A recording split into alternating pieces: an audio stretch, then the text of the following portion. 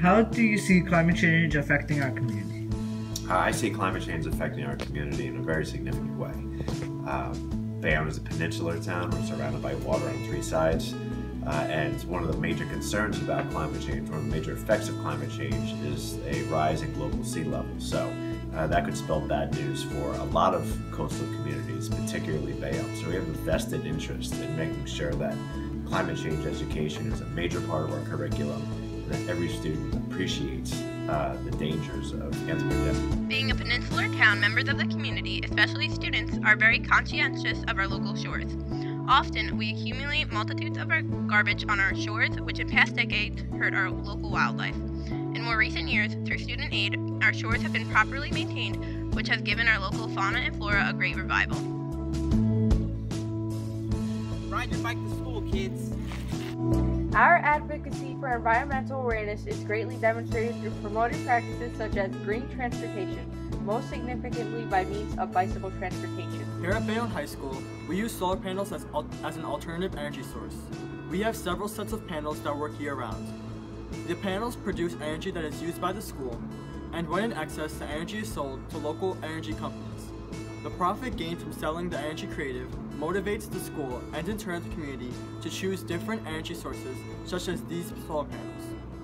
At Bayonne High School, we use cardboard trays rather than styrofoam due to their biodegradable nature. This reduces our impact on local landfills and promotes recycling in our school. We promote the use of reusable containers to students who bring their own lunch from home. Biodome is a community of the most diverse types of animals in the world.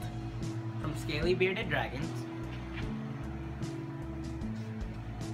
to endangered chinchillas. Bayonne High School educates its students on the importance of protecting the members of its environment. Climate change is real. Some people deny it, but it's our reality. And of course, people are responsible for climate change. All human being activities causes uh, climate change. Uh, we include different projects. So first of all, we had even uh, we celebrated National Water Day on March 19th. We had some presentations. We had uh, for April uh, 22nd for Earth Day. Uh, we also did different projects, climate change and presentation. To start, I wanted to build a filtration system, but not an ordinary filtration system, one that combined combined different aspects. And so, after studying like giant water plants, different stages that they use for large quantities of water, This micro wind turbine is a prototype that is planned to be mass produced in the future. The turbine is an alternative re renewable energy source for the electricity that is created using fossil fuels. It will be placed around different locations around the school, which tend to have more wind currents considering the school's close proximity to a body of water. Although we contribute quite a great amount to our school community, we assure that students go above and beyond the school area as climate change does not mean only local change, but rather change on a global scale. What are some environmental changes that you have seen around the world? Okay, so I've done a lot of traveling in my personal life, um, and most recently I coordinated the trip to Ireland and to England for students from Bayonne High School, where there are not a lot of large cities, there's not a lot of pollution, uh, it's a really farming community. People are still living off the land and, and raising animals and, and livestock and agriculture to sustain themselves. So we definitely saw a completely different type of environment than what our students are used to living here in the cities. And we definitely enjoyed the nature and the country and the sort of untouched by mankind landscape and, and felt that that may have been how areas like this used to look before uh, we had all of our, our cities and industrialization coming in. All right.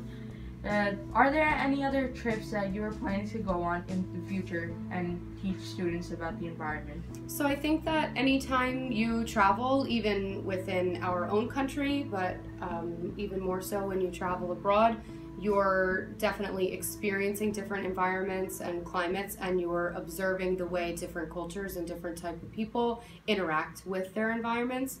some things that we found in Europe that were unusual to students that are used to the way we live here in America are, for example, the fact that hotels aren't replacing your towels every day and mm-hmm. washing your sheets every night. And that's, you know, they're making active choices to try to reduce the amount of pollution and the water that they're using and to protect their environment. And I think that that was a learning experience for our students. Mm-hmm. I know that the STEM students are planning a trip to the Galapagos next summer, and that obviously will be completely embedded in environmental science and biology.